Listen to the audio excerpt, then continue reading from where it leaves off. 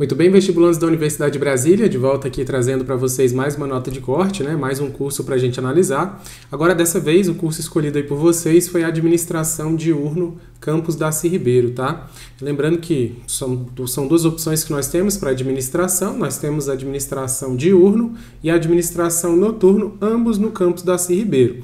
Aqui a gente vai trazer as notas aí dos aprovados na última edição, na edição de 2022, que vai servir para você aí da edição de 2023, 2024, se balizar ali, se ter o teu norte ali comparar com a sua nota ao pegar a nota do Enem ali para você saber mais ou menos quanto que você precisa, tá? O curso ele oferta 30 vagas divididas ali entre 15 para estudante de escola particular e 15 para estudante de escola pública e aqui subdividido nas subcotas, né? Eu começo sempre aqui pelo sistema universal, que é o sistema 1, que de certa forma seria a ampla aqui, né? Que é a parte aqui, é o sistema em que contempla ali os alunos de escola particular sem nenhum tipo de cota, tá bom? Que é o sistema 1. Aqui a gente tem o seguinte, a, os candidatos aqui aprovados, nós temos aqui a primeira colocação com 720 pontos. Então, se você quiser saber quanto que você precisa, né, utilizando a nota do Enem, aplicando os pesos da UNB, Quanto que você precisa ter? Você vai precisar de 720 já com os pesos da UNB, porque foi a nota aqui do primeiro colocado. Descendo aqui, a gente vai ter segunda colocação com 717, terceira colocação com 692, tá? Nós temos aqui é, sexta colocação com 683. Então, basicamente, você do Sistema Universal, do Sistema 1, vai ter que mirar ali na casa dos 700 pontos para conseguir ingressar e buscar uma dessas 13 vagas. Lembrando que nós temos mais candidatos convocados, e se a gente puxar aqui o último candidato aqui que entra né, puxando aí as vagas aí da, da primeira chamada, da primeira convocação, a gente vai ter aqui o candidato na 14ª posição. Veja que entre né, dessas 14 é, candidatos, alguns não foram chamados aqui por diversos motivos aí, tá? Isso não, é, não aparece aqui pra gente na planilha lá dos aprovados, né? Mas olha só, a gente teve gente entrando aqui com 669, né? 669 é, foi a nota já com os pesos da UNB, tá bom? Então o que, que nós temos aqui? Se você quer entrar nesse curso e é do Sistema 1 e é do Sistema Universal, você vai precisar com certeza de chegar ao mais próximo ou passar de 700 pontos. Aqui tivemos candidatos com notas, né, entrando com notas acima de 650, mas o ideal é para você ter uma segurança, brigar pelas primeiras vagas, é você chegar o mais próximo possível de 700 pontos, ou então extrapolar 700 pontos, como nós vimos aqui o caso do primeiro colocado, né, que tirou 720. Beleza? Então, veja que é um curso aqui que até tivemos candidatos sendo chamados aqui no segundo, na segunda, na terceira, na quarta, na quinta convocação, ó, pelo menos na segunda nós tivemos. Quem quiser conferir se na terceira, quarta ou quinta nós tivemos, é só baixar a planilha lá no Telegram, na descrição do vídeo aí, que lá você vai ter a planilha completa e pelas cores você vai conseguir detectar se esse curso chamou, quantos foram chamados em cada convocação. No momento que eu estou gravando esse vídeo aqui, nós tivemos apenas a quinta chamada. Eu imagino que nós não teremos tantas chamadas assim, além dessa, porque é, daqui um mês, mais ou menos, nós teremos o resultado aí do PAS 3. Então, eu acho que eles já vão começar a desacelerar esse processo aqui é, das chamadas, tendo em vista que já tem outros processos seletivos com convocação. A gente vai ter também os do vestibular e tudo mais. Então, eu acho que não vai ir muito longe disso aqui não. E de preferência, na verdade, você deve usar como parâmetro as notas da primeira chamada, porque segunda, terceira, quarta, quinta convocação, isso aqui não é não é sempre que vai chamar no seu curso ou na sua cota. Para você ter segurança, você precisa tentar entrar na primeira convocação. Da segunda para trás é só na sorte mesmo, tá? Se você não entra na primeira, dependendo do curso que você escolher, você só vai entrar na segunda, terceira ou quarta se for na sorte mesmo, se tiver candidato desistindo e tudo mais, tá? Então, preocupe-se em entrar e escolher um curso que você vai conseguir entrar na primeira convocação, no máximo na segunda convocação, né? Ficando ali mais próximo possível ali do último que entrou, beleza? E aqui na planilha você vai conseguir ter é, todos esses dados aí. É um trabalho danado aqui, mas para vocês aí conseguirem é, se localizarem, beleza? Então, falei aqui do sistema 1, agora vamos para o sistema 2. O sistema 2 também de escola particular, só que candidato é com cota racial, então é a cota para negros aqui do sistema universal. A gente vai ter aqui o sistema 2 com o primeiro colocado, aqui ó, com 643 pontos, tá? Então, o primeiro colocado vai entrar aqui com 643 pontos. Nós temos aqui também a segunda colocação com 638 pontos. E vamos ver se nós temos aqui mais alguém sendo contemplado aqui, ou pelo menos na fila, né? Alguém aqui na fila, ó. Terceiro colocado aqui aparece com 582 é, 582 pontos, já com os pesos da UNB. Perceba que esse terceiro colocado ele foi chamado aqui na segunda convocação, tá? Então, se você quer ter uma esperança e tal, aqui nesse caso foi chamado aí, teve gente sendo chamada com 582, tá? 582 pontos. O ideal é você mirar aqui ó, na nota dos primeiros colocados. Então, o primeiro colocado aqui com 643 e o segundo colocado com 638. Você, então, desse subsistema aqui, você precisa mirar o mais próximo possível de 650 pontos, tá?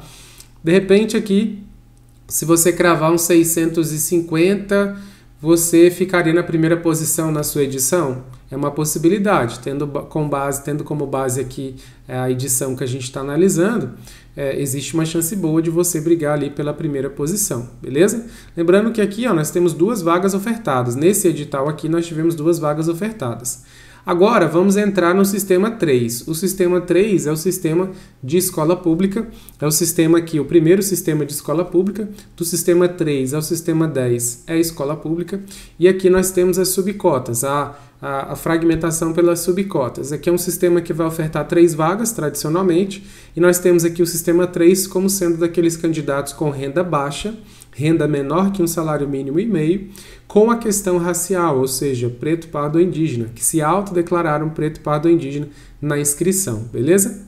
Aqui, vamos conferir qual é a nota do primeiro colocado, trazendo aqui para vocês. Primeiro colocado com 613 pontos. Então vejam só, para você aí que está buscando aí um comparativo, quando você pegar suas notas aí do Enem, você pode então calcular com os pesos da UNB e comparar se você vai chegar nessa média próxima aqui de 613. Se superar, ótimo, pode marcar com confiança. Se ficar abaixo, aí você tem que olhar melhor, tem que analisar melhor, a depender das notas que a gente colocar aqui, ó que se o primeiro colocado entrou com 613, o segundo colocado entrou com 609.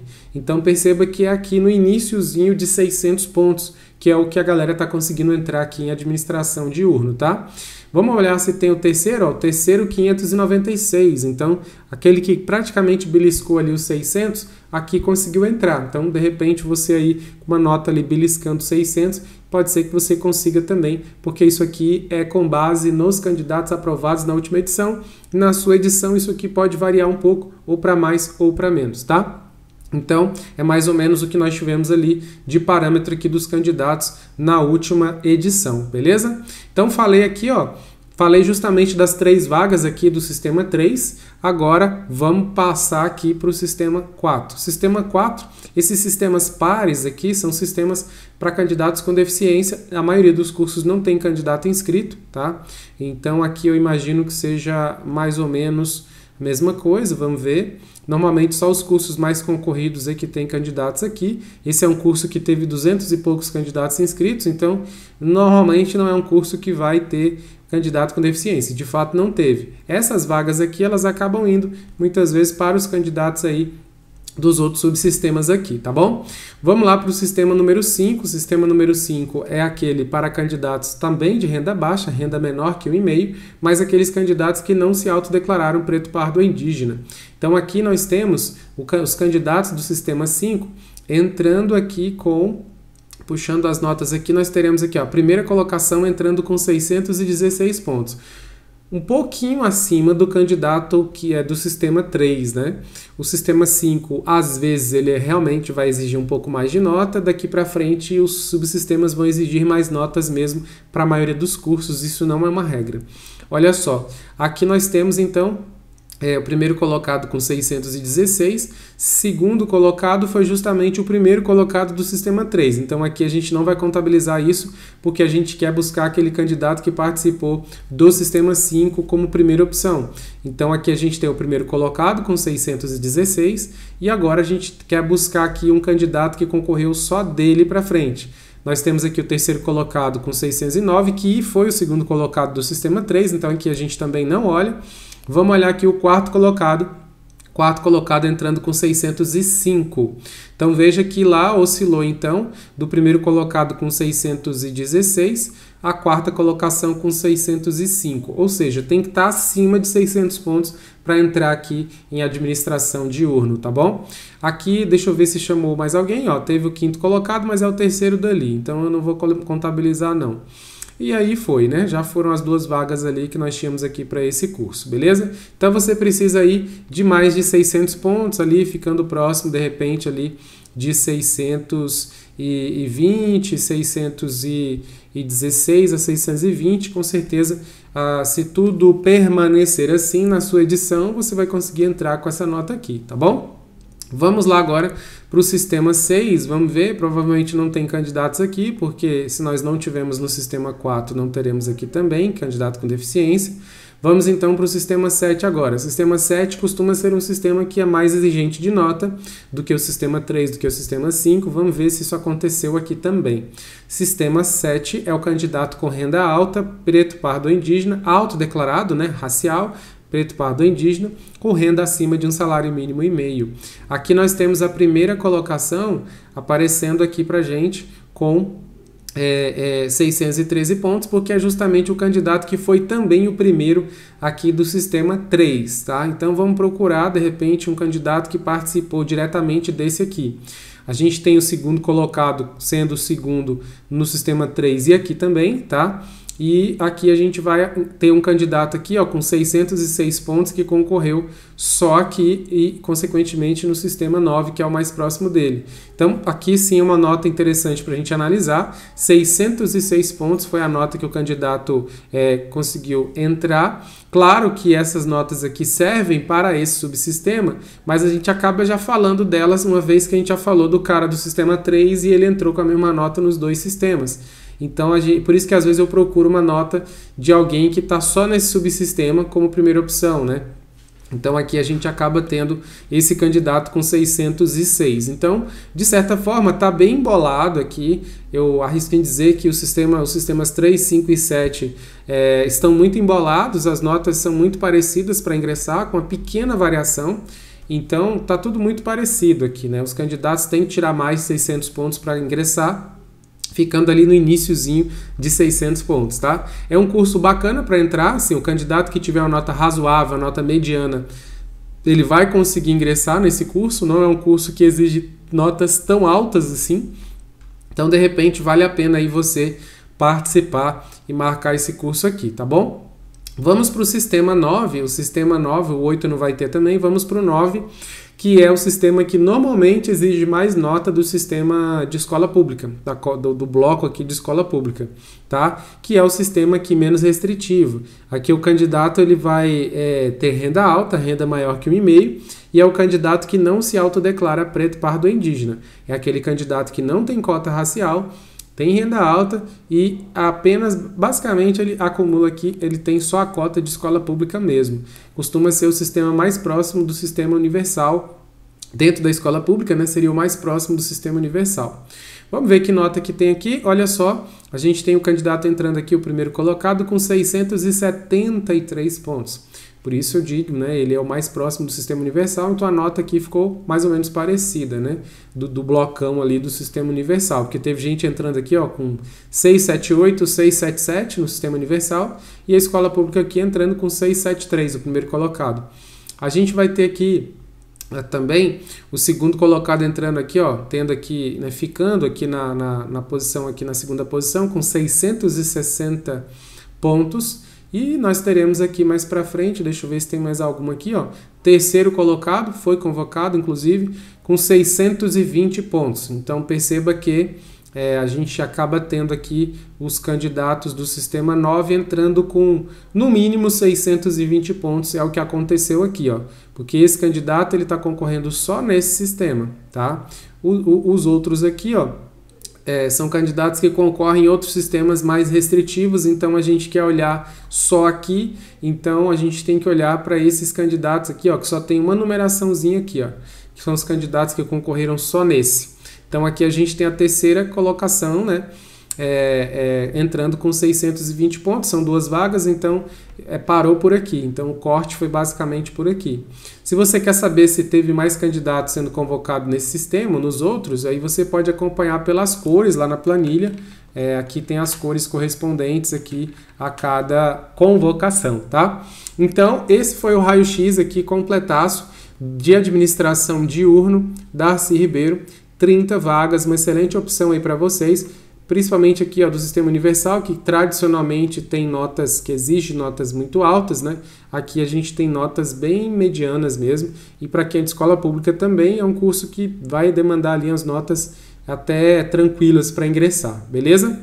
Então não se esqueça, é, se eu não gravei o seu curso ainda, o curso desejado, comenta aí embaixo.